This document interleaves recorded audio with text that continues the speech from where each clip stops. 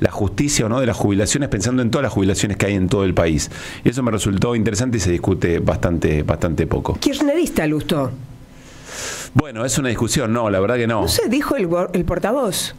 Que, eh, No, Adorni. Claro. Ah, bueno, sí. Este, a Nicolás Mazó también le dijeron Mira kirchnerista. vos. Entonces no, no pudieron terminar con el kirchnerismo. No lo lograron. A López Murphy le dijeron comunista, Eh, imagínate. bueno, Sí, entonces no pudieron. ¿Qué va a hacer? Así es. Bueno, ahora sí.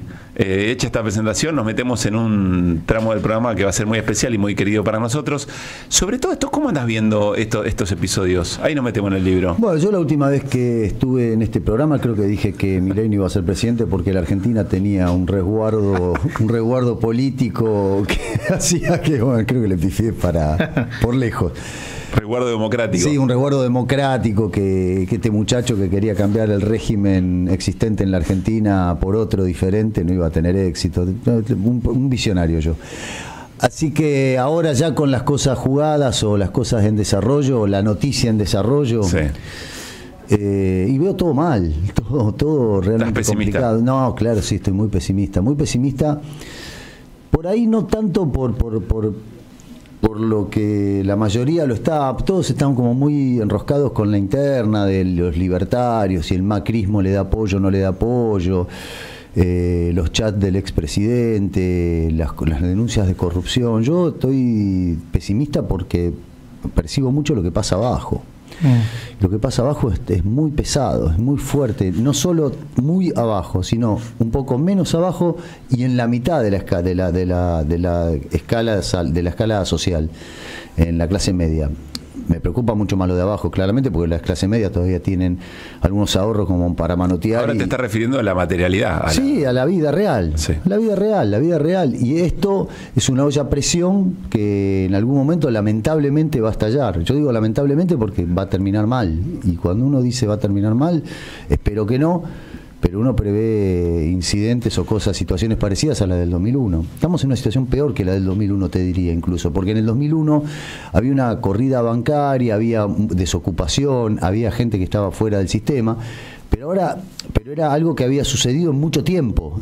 Era algo que nos habíamos acostumbrado a una degradación de la economía Más gradual. Más gradual. Entonces, el estallido se produce, pero se produce por un hecho muy específico, que es aquel famoso día en que De la Rúa establece el estado de sitio, y cuando salimos a la calle nadie sabía qué era lo que iba a pasar, lo que pasó tres días después. Salimos a la calle era para protestar un rato, para putear por la situación, y después desencadenó lo que ya todos sabemos. Ayer te interrumpo. Re ayer, violento, ayer comentamos, eh, viene a cuento, por eso te lo sumo. Ayer comentamos una declaración del Cuervo Larroque que Mm. dice: eh, el gobierno de Milei tiene que agradecer que Axel Kicillof está en la provincia, porque de esa manera hay una red de contención en términos de política social. Sería otro el, el panorama. Si eso no estuviera, si, sería le otro solta- panorama. si la, si la provincia le, sol- le llegara a, a soltar la mano a la gente que está, eh, insisto, en los barrios, en los lugares más carenciados, en los lugares con menos posibilidades, esto se convierte en un estallido, esto es un desastre, esto es un desastre. Este tipo está, está haciendo malabares con brasas y no le importa nada, no tiene ningún tipo de preocupación, le importa un joraca todo lo que hace. Y yo pocas veces vi una cosa de un- una, una persona tan desalmada. Eh, y la mayoría de la gente que lo rodea también son desalmados, porque ¿qué puedo decir de Petovelo? Petovelo no solo me parece una pésima ministra, sino que me parece una mala persona. Porque tener los depósitos llenos de morfi, no entregarlo a los tipos que necesitan esto para comer, esto es de mala persona. Se lo- le pillaron los gatos toda la Le comida. pillaron los gatos la comida, se la cagaron, digo, se las comen las ratas. ¿Qué carajo están haciendo, loco? O sea, esto es de maldad, esto es maldad, maldad pura, lisa, llana.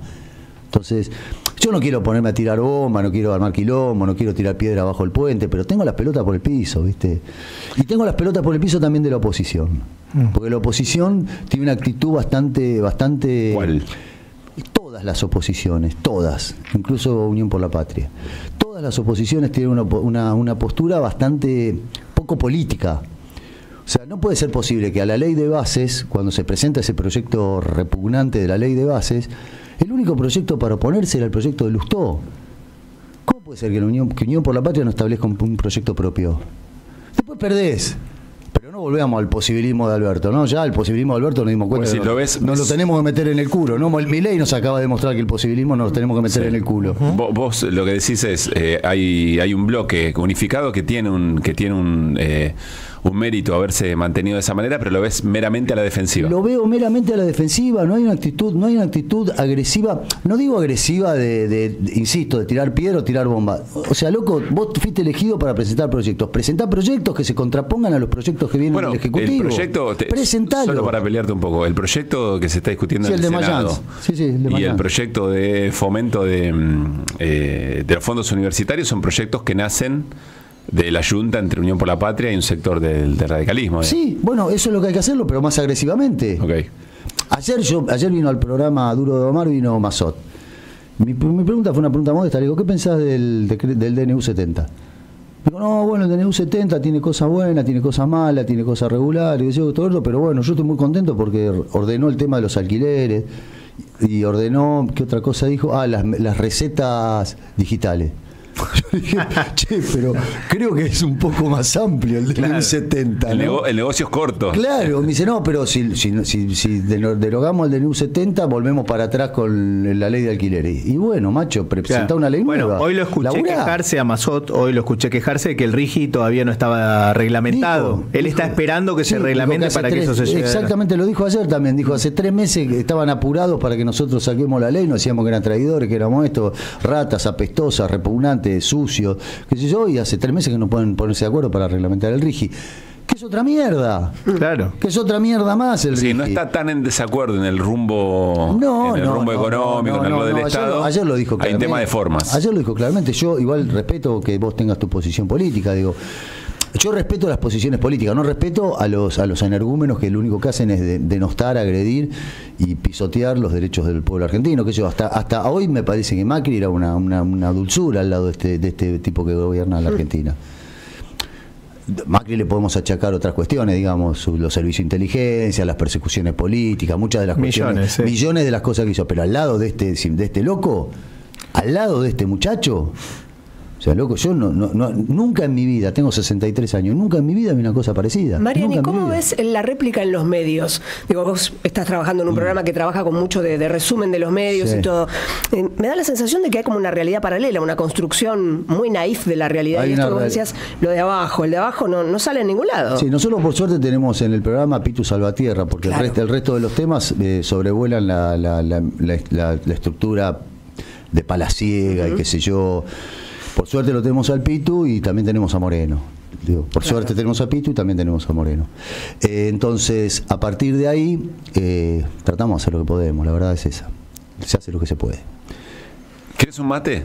Sí, Dale un mate. sí hacer un se mate. hace lo que se puede. Hay un tema El que programa- a lo mejor programa- nos ayuda a entrar en el libro, porque me parece Sí. que es puente, que es, eh, porque vos hablabas de la oposición hoy y nos detuvimos bastante en, en el rol de la oposición en, en el Parlamento, fundamentalmente en el Parlamento. Pero hay otro aspecto que tiene que ver con la lógica del peronismo, para entrar en tema, que también parece, este, ¿cómo, cómo decirlo?, este, bastante borroneada, ¿no? Este, como que está desdibujada, desdibujada la, la construcción peronista de todos estos Mm. últimos años, entendiendo que Unión por la Patria, el Frente de Todos es mucho más que el peronismo, ¿no? Sí. Eh, pero, pero en particular el peronismo me parece que hay un desdibuje del rol en tanto y en cuanto eh, conducción política de masas. Bueno, el peronismo ha pasado mucho, ha atravesado muchos momentos y muchas versiones, ¿no? El peronismo no es uno solo, el peronismo fueron muchos peronismos.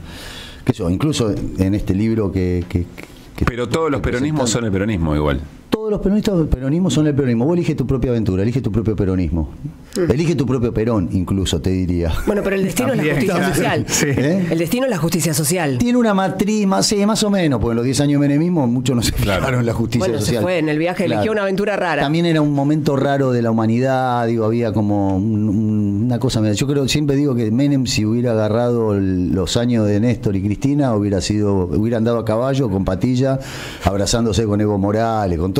Me- Menem era un pragmático, no tengo dudas de eso. Que en ese momento era el consenso de Washington y fue para el lado que tenía que ir.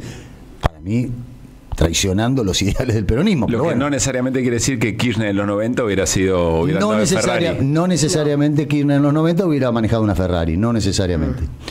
Pero no tengo duda que Menem hubiera estado con Patilla andando a caballo por la el- 9 de julio Chávez. en el 2003, abrazado a Chávez y a Evo Morales. No tengo duda de eso. Eh, pero bueno, el peronismo tiene esa cosa. El peronismo ha pasado infinidad de momentos, en los, momentos más eh, gloriosos que fueron del 43, incluso me, me retrotraigo hasta antes de asumir el gobierno, del 43 hasta el 51, 52, eh, especialmente hasta la muerte de Eva, ¿no? Hasta la muerte de Eva es un momento muy, muy, muy audaz del peronismo, de mucha, mucha realización de cosas. Era un momento espectacular de la Argentina, industrialización, había una flota mercante eh, pujante, había todo un, trabajo que se había hecho en todos esos años. Es, esto es la organización de un plan quinquenal que efectivamente había llevado a la Argentina una prosperidad. Eh, había sacado a mucha gente de la pobreza, de la, de la miseria, de, que, que- que era muy ostensible, porque cuando Milei dice quiero volver a, mil- a los principios del siglo, quiere volver a eso, a la miseria, a la pobreza, quiere a un 30%. Claro, preperonista. Claro, tiene te diría precapitalista incluso, 30%. En algún caso sí, Claro, en algunos casos hasta feudal. 30% lleno de guita y el 70% cagado de hambre. Más o menos lo que quiere es eso. Y ese 30% no sé qué, se la pasará bien, pero no se, no se dan cuenta que tienen que mirar al otro lado. Pero bueno, después en el peronismo también a, partir del 53 más o menos hay como un momento más defensivo. Que termina el golpe de Estado y que termina el derrocamiento de Perón. Después tenés 18 años de proscripción, con puestas en duda muchas veces de la conducción de Perón desde el exilio, con un Bandor en el medio, con Rucci discutiendo con Bandor, con todo un montón de particulares que no vamos ahora a ponernos a revisar porque vamos a matar todo el programa. Después aparece otro peronismo en el 73, el León Herbívoro, el que baja, se abraza con, con Balbín. Es otro Perón, es un Perón distinto, un distinto al- Perón que desde Puerta de Hierro a- alentaba la revolución socialista. Que todos- lo hemos visto en la película de Pino Solana y, y Quetino alentando la revolución socialista. Sí. El, el Che Guevara La hora de los hornos. El Che- no, en la hora de los hornos y en actualización política y doctrinaria. Ah, claro. Era, era, el Che Guevara era un pelotudo al lado de Perón. Perón iba al fleje en ese momento, estaba jugando como, como Borg tirando todas a los flejes. Después cuando viene es el león herbívoro. El que se abraza, que dice los imberbes, que gritan y qué sé yo, y, y bueno, y todo lo que también sabemos que ocurrió durante ese gobierno.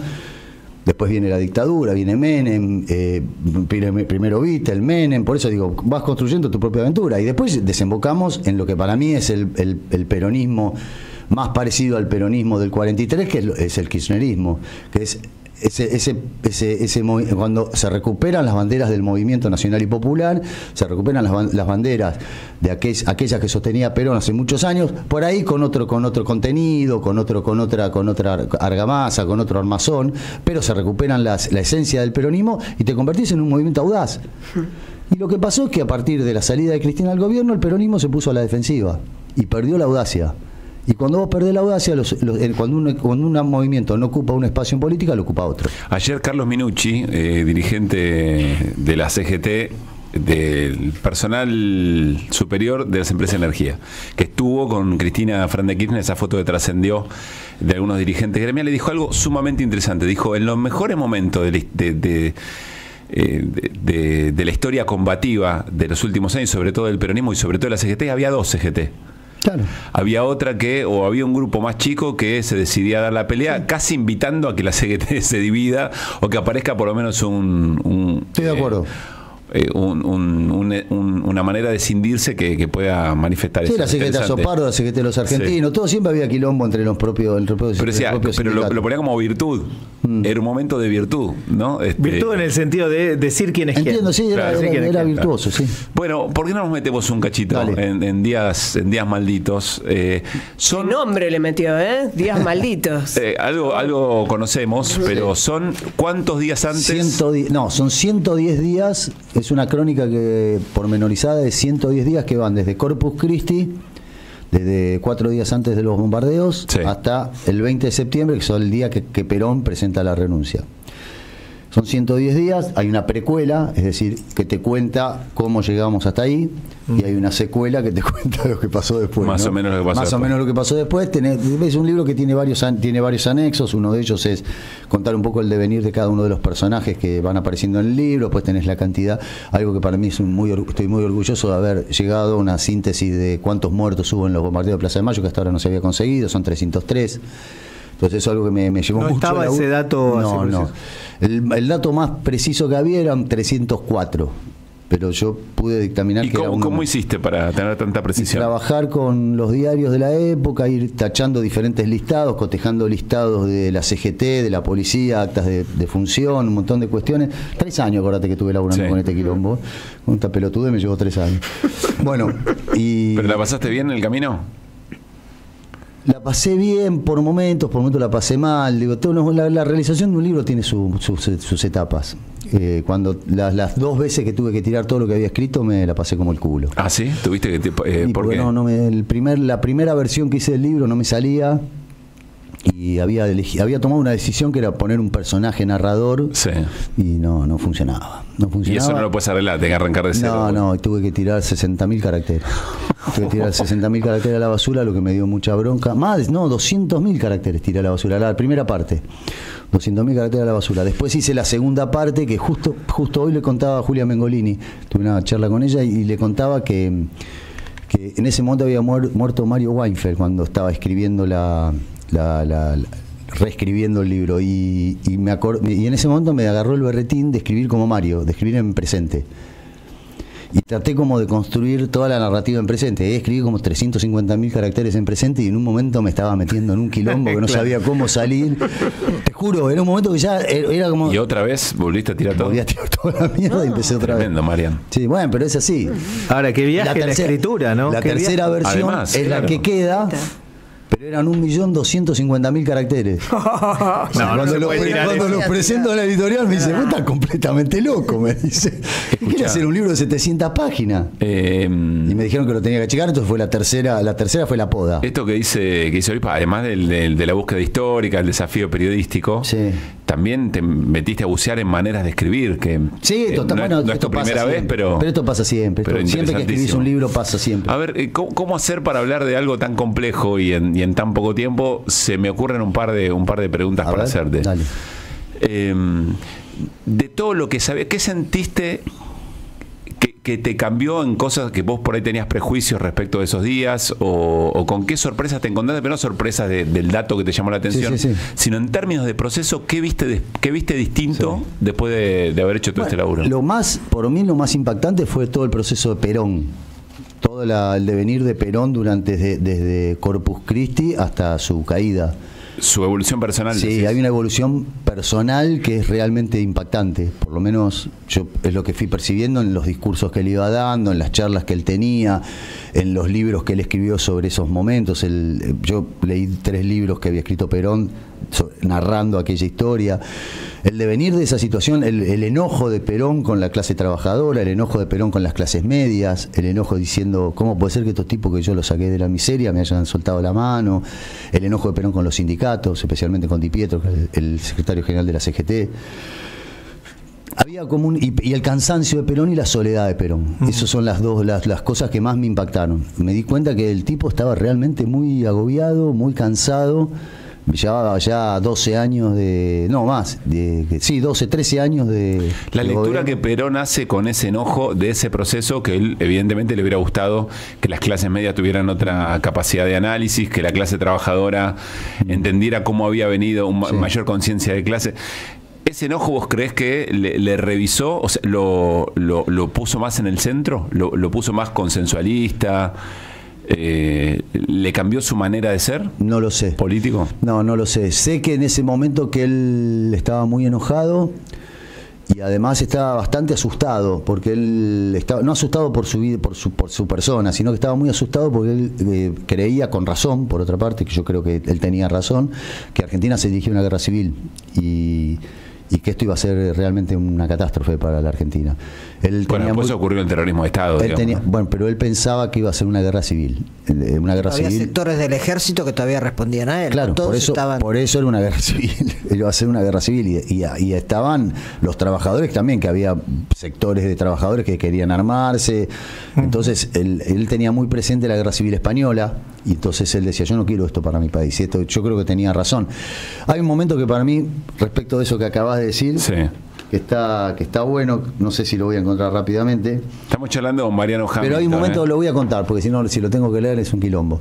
Eh, hay un momento que él está en la cañonera Paraguay, ya, ya se fue del gobierno, Les voy a contar un poco los yates de Perón, que eran muy graciosos, son muy simpáticos.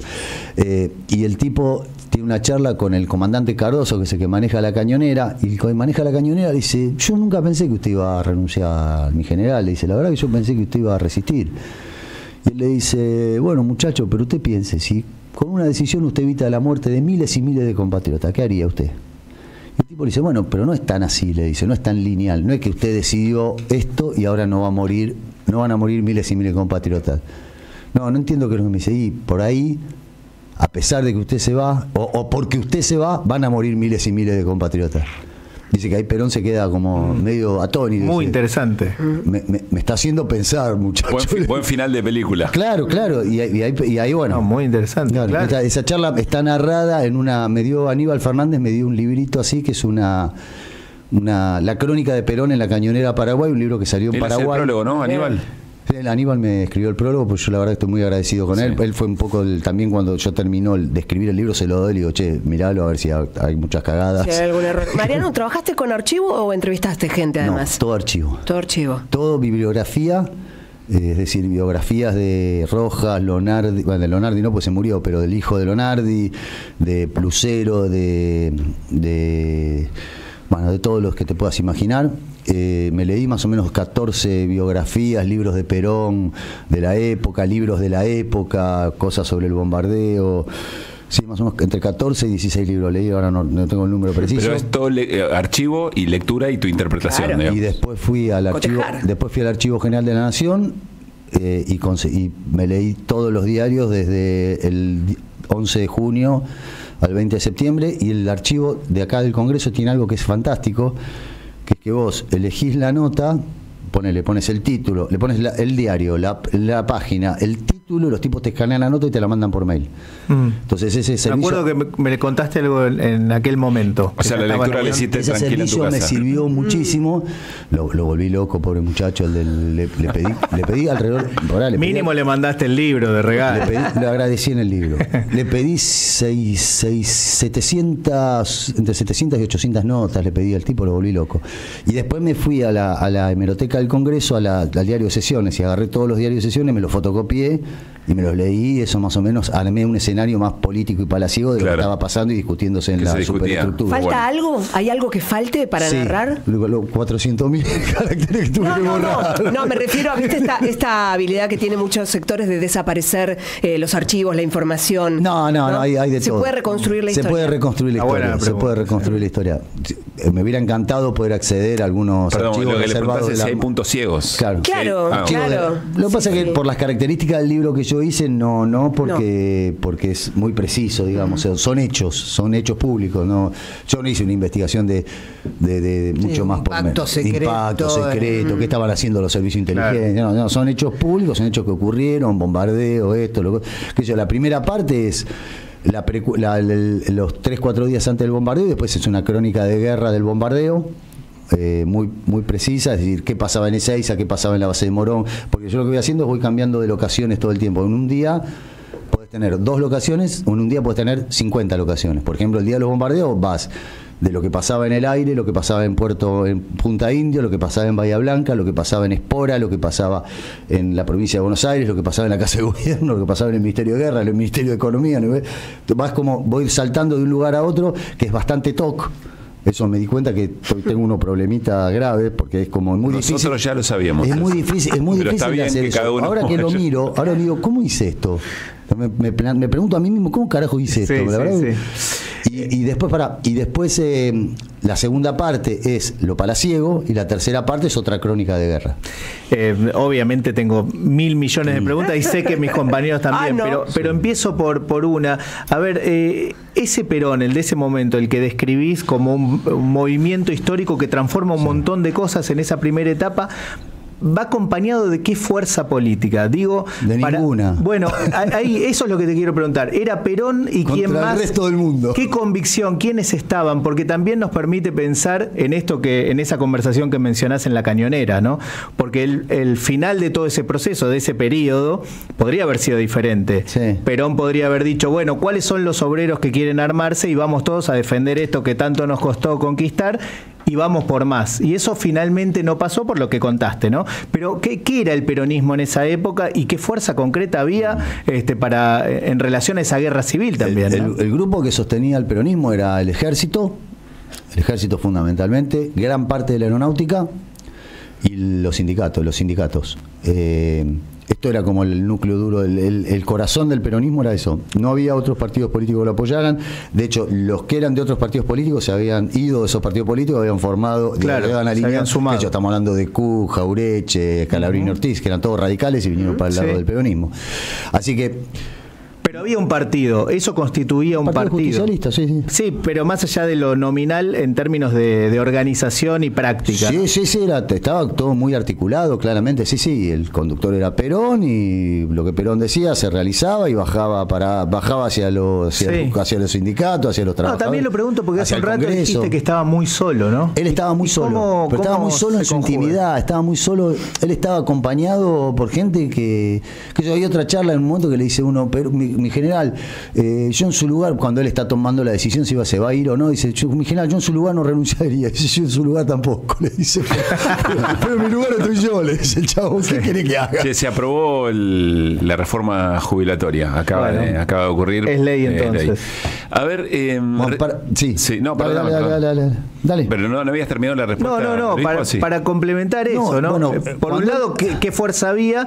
Y después, ¿por qué terminó de la manera que terminó? Y él no, no vio, no pudo, no supo, no había contexto para ir por más. Hay un devenir, hay un devenir que, yo no lo conocía, yo pensé, yo no lo sabía, que a mí me sorprendió que Perón, cuando después de los bombardeos, decide terminar la revolución peronista. Habla por radio y dice, muchachos, acaba, hoy decreto el fin de la revolución peronista, todas las restricciones que hay para, para eh, hablar en las radios y qué sé yo, se acabaron, nosotros tuvimos que ajustar algunas cosas, porque en una revolución siempre hay que ajustar y por ahí hay que tomar decisiones que restringen algunas libertades, dijo Perón. Y ahora además yo dejo de ser el presidente de los revolucionarios y paso a ser el presidente de todos los argentinos. Yo no lo sabía esto. Mirá vos. Perón dice esto en radio, en cadena nacional dice esto, paso a ser presidente. Entonces convoco a toda la oposición a que venga, escuchen esto porque les va a interesar, que creo que alguna vez lo escucharon. Convoco a toda la oposición a una mesa de diálogo para poder llegar a acuerdos mínimos que nos permitan encarar un futuro promisorio para la Argentina. Esto porque se veía acorralado. Porque él veía que la cosa se estaba bien, le habían bombardeado la casa de gobierno y lo querían No, no, no, matar. claro, claro. Le habían- habían ¿Y ahí cómo, cómo responde la oposición? Toda la oposición acepta el convite, va, en- va a, ver en sus va a las radios a hablar, hablan en Radio Splendid, Radio Mitre, en Radio, van en Radio Nacional, nunca les dan la cadena, pero sí les dan las radios y toda la oposición dice más o menos lo mismo. Fenómeno, estamos de acuerdo, vamos a discutir, qué sé yo, esto que lo otro, pero Perón se tiene que ir. Si no se va Perón, no. Entonces, todos dicen exactamente lo mismo. Perón se recalienta, se enoja mucho. eh, qué sé yo, el, peor, el peor de los discursos es el de Palacios, que es el que directamente, lisa y llanamente Socialista. dice- sí, sí, el socialista Alfredo Palacio. Es el peor de los discursos. Está- fue tan violento el discurso de Palacio que repito que era su compañero del, del partido, le- no, no acepta, no, fi- no lo firma y saca su propio comunicado. Eh, Y Perón, y Perón ahí se calienta y el 31 de agosto, porque Perón tenía un jeite, que era, él presentaba la renuncia, entonces ahí salían todos los trabajadores, llenaban la plaza, claro. llenaban la plaza, operativo clamor, y Perón retiraba la renuncia. Siempre hacía más o menos lo mismo, lo hizo el 17 de octubre, lo hizo el 31 de agosto. El 31 de agosto tampoco yo sabía que Perón representa la renuncia. Presenta la renuncia y dice, yo me voy, que ya se acabó todo. Cuando todos los partidos le dicen que se vaya Perón, y ahí Perón es, sale ese día, cuando sale a la Plaza de Mayo, habla con un cura que es su amigo, un tal Benítez, y le dice, quédate tranquilo que yo voy a salir, voy a estar tranquilo, no, no, no, no, no voy a. Sale y dice cinco por uno, no, pegá palazo. Tenemos que estar atentos y vigilantes. Si ustedes ven, si ustedes ven un argentino que está conspirando, tiene que ser muerto en el lugar. Chabón se vuelve loco cuando ve que hay 500.000 personas. Vuelve a, la- a la- a entrar, ingresa otra vez en la casa del gobierno y le dice, le a, Beni- pasa. le dice a Benítez, y no pudo ser. me equivoqué, me fui por otro lado. Y este- ese es el Perón que después de viene en el 16 de septiembre, que es cuando, cuando empieza el golpe militar, que todos creen que el golpe militar arranca el 16 de septiembre, dura 3, 4 horas, 5, 4 días duró. 4 días de combate en todo el país. Cuatro días, casi do- 200 muertos, hubo muchos civiles también muertos. Che, no quiero dar por sentado, estamos charlando con Mariano Hamilton, amigo, compañero, pero el- lo invitamos para que cuente un poco eh, su nuevo libro. Eh, yo siento que estamos entre amigos charlando y que esto está siendo pasado por radio y me imagino que eso se celebra y que está y que está muy bien, así que confiamos en que va bien. ¿A qué hora te tenés que ir? No, a las 5 y 10, 5 y cuarto, Ok, como mucho. bueno, para Porque tengo no- que llevar a mi hijo a taekwondo. Sí, sí, La vieja, conoce- la vieja historia, muchachos. Te La misma de siempre. Ahora. Lo único que ahora elijo es cinturón negro, así que cuidado. Sí, pues, bueno. Cinturón azul. Claro, si no pasa lo, lo caga palo. Escucha, eh, uno imagina que cada vez que eh, alguien escribe un libro sobre el peronismo, está escribiendo una suerte de nuevo evangelio. Sí, ¿No? Este- no, mi, no mi caso, pero sí. No, bueno, quiero decir, escribir un libro sobre peronismo en la Argentina, eh, en la Argentina, de, alguna manera, es como una, una versión propia de un montón de cosas muy conocidas, bueno, algunas no tanto que se olvidan, o vos tomás la decisión de incorporar algunos Claro, claro. documentos o discursos Es que... un libro peronista el mío, claramente, no es un libro, No, no, no, es un libro equidistante. Pero, por, eh, pero además tiene, por lo que contás, también jugás interpretaciones. Sin duda, sí. Eh, y cada vez que alguien escribe un, un nuevo evangelio, eh, en este caso de- del peronismo, viene como la hegemonía de ese momento. O, o- o el resto de los eh, de quienes observan y analizan el peronismo y desde el peronismo te dicen, pará, acá, te, ¿qué, qué hiciste? Eh, ¿Te sorprendió alguien que te haya eh, dicho, che, acá te la mandaste, esto no era para nada así? No. ¿Alguien que se te haya enojado? No, hasta ahora ¿O alguien que te, haya, que te haya celebrado por cosas que del peronismo no se venían diciendo? Hasta ahora la, la, la mayoría de las... No, todas las críticas fueron elogiosas, digamos. No sé hasta qué punto alguno me está puteando y no me lo dice, pero en principio que es un tipo que yo confío mucho, que es Aníbal, me, me- me dijo que el libro era fantástico, que estaba muy bien reflejado ese momento. ¿Por qué confías tanto en Aníbal? Aníbal eh, es, Aníbal es tomado un como un tipo que... es un, es un estudioso del es peronismo. estudioso del peronismo. Es un estudioso del peronismo. Que yo tengo un amigo mío que es Fabián Mauri, que también es un estudioso del peronismo, y me dijo que estaba muy bien, qué sé yo. Después Piqui Caravario, que es otro amigo mío, editor, también hizo una extraordinaria eh, crítica en la agenda de Buenos Aires. No, el libro hasta ahora está bien recepcionado. Es un libro peronista, claramente. No, no, no, no, digo. no descreo de esto. Pero además ¿eh? por todas las aventuras que Pero- las lecturas que tiene el peronismo, Claro, pero, puede haber pero gente es un libro que, ofendida. es, mi, es mi- es mi mirada del peronismo, es mi observación del peronismo, del del- de un momento del peronismo. Yo ahí tengo una mi observación pregunta. del- de un momento de Perón, sí. Tengo una pregunta precisamente porque es un libro peronista y que vos lo, lo presentás como tal. ¿Qué es lo que quisiste contar? ¿Qué quisiste contar vos? Más allá La del obvio, más allá del obvio. La gran tragedia argentina. La gran Eso, tragedia. la gran tragedia argentina. Porque yo lo descubrí dando una charla con Aníbal y con Pedro Saborido en el Fondo de Cultura Económica. Ahí descubrí por qué escribí este libro. Ah, los escuchaba hablar a ellos, lo escuchaba a Pedro, lo escuchaba a Aníbal. Y un momento dije, ah, claro, por eso. Escribí este libro porque quería explicarme por qué el odio. ¿Por qué tanto odio? ¿Por qué se odiaba tanto al peronismo? ¿Qué carajo fue lo que hizo el peronismo para que se lo odie tanto? Entonces eso fue, por supuesto no llegué a ninguna conclusión, ¿eh? Digo, se los aclaro ya de arranque, no es que van a encontrar las respuestas en el libro. Pero me di cuenta que el motor era ese. Quería entender las razones del odio. Quería entender las razones de por qué era denostado y despreciado el peronismo, de la manera en que es denostado y despreciado el peronismo por ciertas clases sociales. Y una de las cosas que, que sí la, la encontré mientras estábamos charlando es una frase que para mí es fantástica también, que es al final, cu- cuento un poco quién es Arturo Rial, que era uno de los, de los, de los marinos que...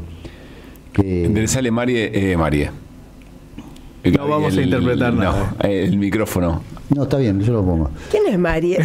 Pocos días después, días después del, del golpe de Estado, el capitán Real se cruzó en la Casa Rosada con sindicalistas que esperaban para ver a Leonardi. Allí lanzó una frase que quedó en la historia. Sepan ustedes, señores, que esta gloriosa revolución se hizo para que, en este bendito país, el hijo del barrendero muera barrendero. Esto fue lo que dijo uno de los realizadores de la revolución, fusiladora, libertadora, llámenla como quieran. Ah. Hay un- Queda claro, ¿no? Hay un Sí, libro, sin Mariano, disfrazar no- nada. Sin disfrazar, no, no, bueno, mi ley. Mi ley, mi ley. No sé si dentro de la bibliografía que usaste leíste a Salvador Ferla, que es un era un italiano inmigrante argentino, peronista, Sí. eh, autodidacta, historiador, hizo un trabajo sobre los fusilamientos del 55, no 56, perdón. Claro. Los basurales de Sí, José sí, León Suárez, José León con un estilo diferente al de Walsh, más no tan literario, sino y habla mucho del odio de ese momento. No, no lo vi, la verdad no lo vi. Porque Qué como lástima, no era, no era parte de Pero mi- no, era parte del tiempo que yo Porque él se abarcaba. pregunta lo mismo que vos, no como historiador. Es que me ¿Por di qué? cuenta, me di cuenta de eso, que, que en realidad era como, ¿por qué el odio? Tal, que, tal vez quería descubrir la génesis del odio, ¿no? El por qué, el motivo, pero no lo encuentro. Tengo algunas unas sospechas que, que- que el peronismo básicamente es inentendible para mucha gente y cuando uno no entiende algo le tiene miedo. Y cuando le tiene miedo muchas veces reacciona de manera violenta y defensiva. Una de esas, una de las sospechas. La otra es que vos te- uno está preparado para entender un enemigo mucho más, mucho más claro, digamos, el comunismo. El comunismo, no, ese va a venir, me va a expropiar, me va a sacar todo, eh, me va a vestir de gris eh, y yo voy a tener que ser Bueno, un autor. así es como te lo presentan. Claro, pero Claro. es- estamos hablando de, la- de lo que de, de los enemigos que tienen en su cabeza, los fantasmas que tienen en su Claro. cabeza ciertas clases sociales. Esta no la vieron venir. Claro, el peronismo no lo entienden, no entienden, no entienden que alguien diga, ¿sabes qué? Eh, yo no te voy a sacar nada, vos, pero lo que voy a hacer es compartir lo que vos tenés, se lo voy a compartir a otro. Y eso es algo que no lo, no lo pueden entrar. Yo el otro día Pedro decía, si Evita viviera, haría hoteles sindicales en Punta del Este, para romperle los huevos a los de la clase, a los que van a Punta del Este. ¿Qué es lo que ¿Qué es lo pasó en hizo? Mar del Plata? Claro, Claro. él hizo hoteles sindicales en Mar del Plata. ¿Qué hizo? Muchachos, esto es de ustedes, no, no es de ustedes solo. Esto también es, es de las clases trabajadoras. Claro, ¿por qué iba a ser para ustedes solo? Y eso se volvieron locos. Lo- Las clases, las clases dominantes se volvieron locos con eso. ¿Le alcanzaste el libro a Cristina? No, yo no, no. no. ¿Se lo enviaron, digo, no sabes? Bueno, no sé. La editorial no sé si se lo envió. La verdad no lo sé. Eh, yo se los envié a ustedes, pero no Mm. sé si se les llegaron. No. No. Bueno, eso le dije a la editorial, que se los pasaran a ustedes. Qué, mal. dije exactamente, además que se ¿eh? lo pasaron a ustedes cuatro. Mira, Mariano, eh, la verdad. No, no, pero pedí, pedí que, que se los No, yo voy a, voy a, antes de ir al- a, No, mi- Cristina a- no. a mi otro laburo, voy a ir a, a una librería y se lo voy a regalar a mi viejo, porque mi hijo está Yo tengo obsesionado. una- me dio unas ganas de, de obsesionado con sí. eh, todo lo que remita a este tipo de análisis de. Quiero decir del una cosa más. Es una novela. No es un libro de historia. Es una novela. Eh, Porque está contado y narrado con el ritmo de una novela. No es un libro de historia, no tiene la formalidad, no, no, no, te- va al hueso, te va, te mete diálogo, charla, qué sé yo, miserias, te aparece miseria de uno, miseria de otro.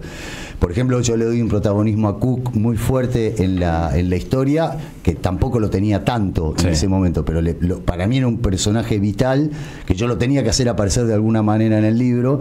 Entonces, en un momento es como la voz de la conciencia de Perón, que Perón todo el tiempo dice, no, quiero renunciar, estoy agotado, estoy cansado, me siento solo, no puedo más, qué sé yo, que todo el otro. Y tenés dos personajes, que es Lucero, que es el ministro del ejército, y Cook, que dice, no, general, usted tiene que resistir, usted tiene que aguantar. Y Cook va más allá, le dice, eh, de usted depende un montón de gente, usted no se puede ir. El pueblo trabajador no lo va a dejar que se vaya. Bueno, No yo es que siempre- usted- yo no es que usted se va porque quiere. yo Usted tiene una responsabilidad histórica, le dice. con la organización política, eh, me, me obsesiona el tema de la organización política, para también entender por qué en este caso, porque digo, eh, bandos enfrentados hay todo el tiempo Sí. a lo largo de la historia argentina y, e imagino de, de todo el mundo, digamos, la famosa lucha de clases, Sí, sí. que le dicen, eh, pero bueno, eh, en el caso del peronismo, este, es como algo que eh, avanzó mucho en un periodo muy corto de tiempo. Y después no pudo seguir avanzando tanto. Está el kirchnerismo donde se recuperó terreno perdido en todo caso, ¿no? Sí, sí.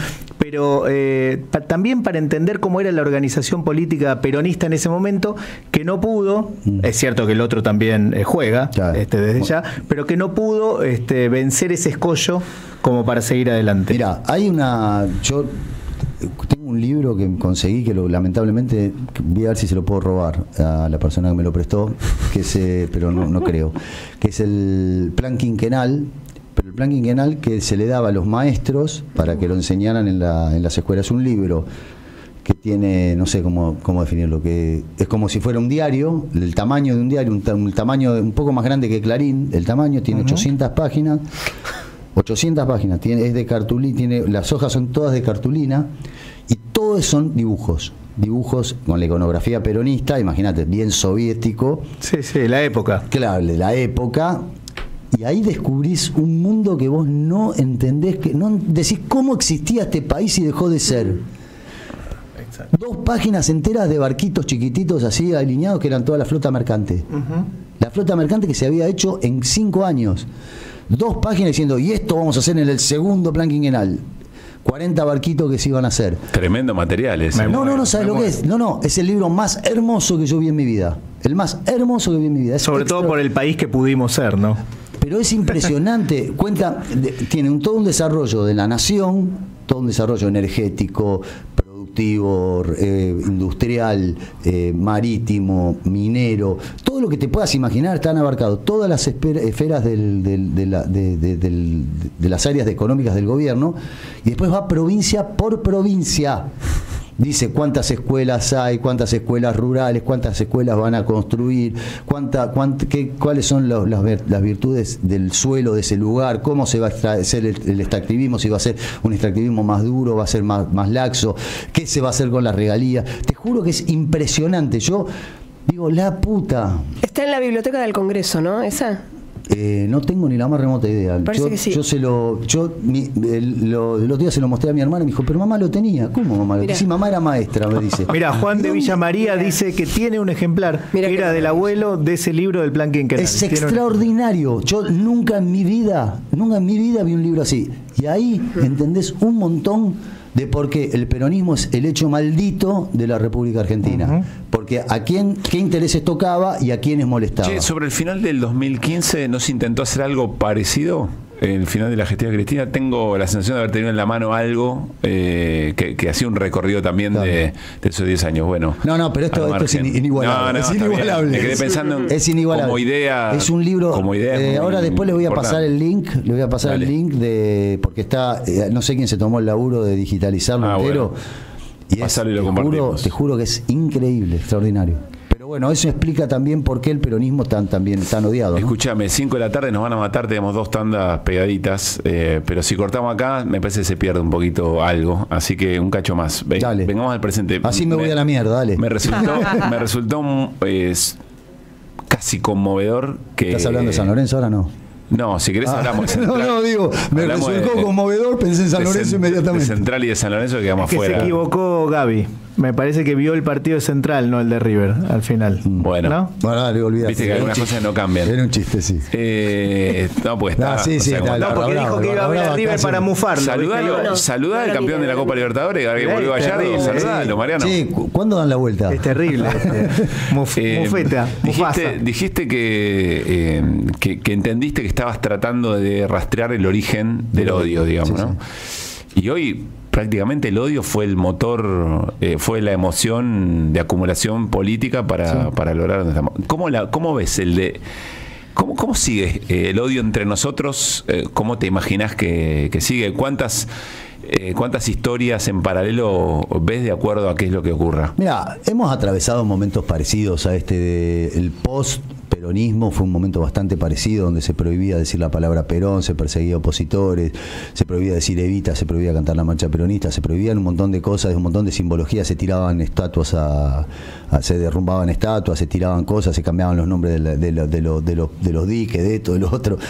Eh, hemos pasado situaciones parecidas y normalmente siempre la Argentina tenía una situación un poco pendular. Esto va a terminar en algún momento.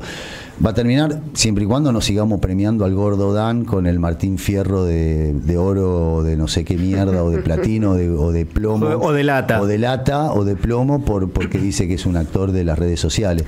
Va a terminar esto, va a terminar. Adorni va a tener que comprarse una careta para salir a la calle. Va, va van a Pero pasar pará, cosas. déjame, déjame ponerte ahí un pero. Eh, eh, porque toda una generación que llegó hasta el Kirchner, o sea, el kirchnerismo incluyó como parte activa de su construcción a una generación que había vivido todos esos vaivenes. Ah.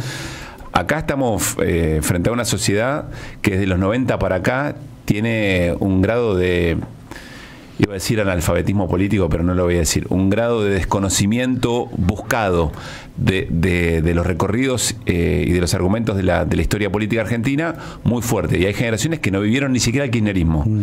Entonces, no, eh, no sé si aplica tanto aquello de, bueno, va, va a pasar. Aplica, aplica, aplica. O Digo, si, o si el peronismo, o si el devenir del peronismo en todas esas décadas eh, logra explicar las fuerzas políticas que nos pueden sacar de esto. te voy, a, te voy a contestar con la historia, no con, no con, no con, no voy a discurrir eh, en filosofía.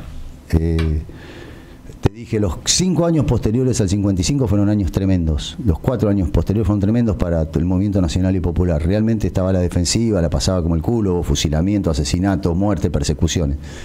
Esto finalmente devino en otra cosa. La dictadura. Fueron la dictadura del 76 al 83, 30 Pero no es parte- es parte de la misma historia. Lo que digo es que es parte de la misma historia. No, no, no es parte de la misma ¿No? historia. No, no es parte de la misma historia, porque en el medio estuvo el 73, que hubo un reverdecer político. Duró poco, pero hubo un reverdecer político. También, pero el proceso, pero el proceso es el mismo. No, el proceso es que es pendular. Lamentablemente la Argentina es pendular. Entonces, esto va a desaparecer. Después viene, después viene el menemismo. Durante el menemismo, la, la ignorancia. Deberemos por- hacer algo para que eso ocurra. Claro, la ignorancia. Que- sin duda, somos claro. responsables de todo esto. Los peronistas, básicamente, también somos Todo, todo responsables. el campo popular. el Lo, campo lo que digo es, el men- durante el menemismo la ignorancia política que había en la sociedad era descomunal. La pizza y el champán era lo único que importaba. Ir a comprar, ir a Miami a comprarte televisor color. Era, durante el menemismo era, una, era repugnante. Para los que estábamos politizados, por ahí vos no sé si vos lo viviste, por la verdad sos muy chico, por eso tal vez. No, no estaba lo terminando la primaria, digamos. bueno, por eso no lo viviste, no lo viviste, pero era realmente, Néstor no me va a dejar mentir, No, no, no, me va a dejar lógico. mentir, era repugnante, los que estábamos más o menos politizados, no teníamos espacio donde ponernos a charlar. Pues decían, ah, boludo, anda, salí de acá, vos siempre hablando de política, parecía Susana Jiménez hablándole a Rosette, eh, Sí, perdón, tum, Mirta tum. Legrand hablándole a vos sos muy, muy zurdita. Muy, muy de izquierda, muy de izquierda. Era muy difícil. sí, no había lugar en los medios tampoco. No había lugar en los medios, no había ninguna. Y de pronto aparece el kirchnerismo. Mm. Y tenés 12, 10 años, 12 años donde vos decís, para mí la época más feliz de mi vida. Pero Yo ¿no pensé sentís que, que. ¿no sentís que acá hay un quiebre? No. Hay un quiebre, sí, sí, que hay un Que quiebre. deja toda una manera de, de- de la deriva política atrás y que, que aparecen elementos Yo absolutamente no, soy novedosos. no. yo no soy yo, Es pregunta, ver, yo. No, no, debería no. ser dramático por la edad que tengo eh, no por otra no porque crea que va a haber un quiebre irremontable con esto quiero decir digo yo quisiera los últimos años que me quedan por delante que son- espero que sean muchos poder disfrutar un país parecido al que al que teníamos con Néstor y Cristina y no esta mierda que estoy viviendo ahora y atravesando ahora. La verdad preferiría que no, no, no, que no me pasara. Yo, para mí fue muy triste que Eve se muriera con mi ley en el gobierno. Me dio mucha tristeza. Y me da mucha tristeza que las madres estén atravesando este sorete en el gobierno. Me genera como una, una congoja que no, no, no puedo explicar. Porque no se lo merecen. Después de tantos años de lucha, ¿cómo te vas a merecer este tipo esté gobernando y este tipo esté, eh, o, la vicepresidenta, la negacionista, esté, esté duda toda la lucha por los derechos humanos? Porque también nosotros decimos muchas veces, tenemos que hacer autocrítica, tenemos que hacer autocrítica. Ahora, ¿cómo haces autocrítica si vos sostenés durante, durante casi 20 años una política de derechos humanos y esa política de derechos humanos la quieren borrar de un plumazo? ¿Cómo haces? La defendés, la defendés, vas a marchar, hoy hizo la marcha, la marcha de las madres, vas a marchar, vas a defender, luchás en la calle, eh, aparecen los seis hijos de puta estos que fueron a ver a los genocidas y vos los cuestionás, los discutís, pero viene el gobierno, vienen, vienen los diputados y nos los rajan porque los deberían rajar. ¿Pero cómo haces? Bueno, en algún momento esto se va a acomodar y todo más o menos vamos a volver a la, a la normalidad. Lamentablemente yo no sé si lo voy a poder vivir. Pero bueno. Última, ¿cómo le dice a Cristina? Es tan difícil poder definir el momento de Cristina, a mí me cuesta mucho. Me cuesta mucho por el cariño que le tengo, no porque la conozco, no, no- creo que crucé una vez en mi vida una palabra con ella. Pero bueno, el respeto político que le tengo es inconmensurable todo lo que ella ha dado. Pero en este momento no, no, no me parece que esté, que esté teniendo un protagonismo virtuoso, me parece. Que no, no, no es un gran momento, me parece. No es un Sí, así mal To- recuerdo, todos Hamilton, más o menos, todos más o menos sabemos, todos más o menos sabemos lo que está pasando en la provincia de Buenos Aires, cómo lo están dinamitando a Axel, todos más o menos lo que, los que estamos en política lo sabemos, ¿no? ¿O no? Hay una entrevista muy interesante de mm, Daniel Tonietti a Andrés el Cuervo Larroque Mm. en, Sí, la escuché. en Siempre Soy, pero como en un, en un mano a mano muy interesante. Sí, sí, Muy la interesante. escuché. Bueno, todos sabemos lo que está pasando, entonces es muy difícil eh, criticar a la persona más importante de, de este siglo, de este siglo XXI del movimiento nacional y popular, pero también es cierto que la persona más importante de este siglo del movimiento nacional y popular debe conducir de una manera un poco más virtuosa. Para mi gusto, qué sé yo, no sé. Me- A, me- a veces eh, nos preguntan, mientras te hacía la pregunta, porque por ahí la pregunta no es eh, qué pasa con Cristina o qué ves en Cristina, siempre es Cristina y la relación de su en su en su contexto también, Claro. ¿no? Mm. Eh, a veces quizá lo, lo perdemos de vista, pero bueno. No, ayer, ayer, estaba. ayer Moreno decía en el programa que Cristina se había reunido con Villarruel. A mí me parece increíble eso, pero bueno, qué sé yo. No sé, to- todo es posible en la dimensión desconocida. Chabón, gracias por haber venido. Repitamos el nombre del libro. Acá pregunta alguien eh, si está en ebook. Supongo que están puede. todos, digo, planeta, no, no tengo ni la más remota idea. No sé ni cuánto libro hicieron, ni cuánto vendieron. Sí, supongo que está, está en ebook. Sí. Está en ebook. Sí. Bueno, Lo sí, hiciste, no me pregunten cosas raras. La respuesta es sí. Escribí un libro, ya está, después vemos. qué sé yo. Después si se vende mejor. Bueno, pero lo quiere leer, lo Si quiere se leer, vende- por si eso- se vende mucho mejor, porque son Escúchame. billetitos para mi bolsillo. Cuando en la fecha, tres fechas antes de terminar el campeonato, ya sea campeón River, venite. Sí, sí, no tengo problema. Y Pa- pa- charlamos un poquito pero no, pero del campeonato y la Copa Libertadores, de los dos. De los dos. Sí, sí. Venite y. ¿Cómo llora, la eh? ¿Cómo llora? No, no, no. Igual te queda, le queda boca, Pablo, así que tiene, tiene Nah, ese momento Sabemos que es hincha de Central y de Boca. Y de boca. Eh, no voy a decir más nada. Y el que anda bien es independiente. ¿Cómo? San Lorenzo, San Lorenzo está. No, nosotros estamos de año. Nosotros estamos destruidos, pero bueno. Eh, pasala lindo, seguí siendo feliz. Sí, sí, el domingo, voy a, el domingo voy a ir a San Lorenzo 14.30. Dirige. Creo que voy solo para eso. Pasó Mariano Hamilton por que vuelvan las ideas, eh, nos saca sonrisas, alguna que otra lágrima y esperanzas y nosotros seguimos hasta las. Y me emociona mucho haber vuelto, ¿eh? porque me, me